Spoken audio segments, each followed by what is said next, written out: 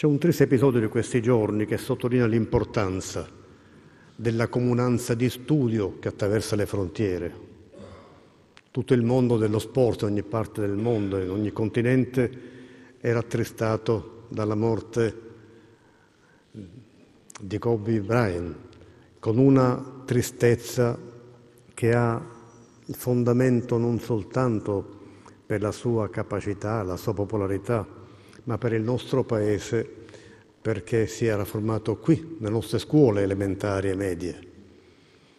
E la comunanza di studi è quella che lega davvero al di sopra e molto di più dei legami politici, istituzionali ed economici che lega l'umanità attraverso i suoi confini.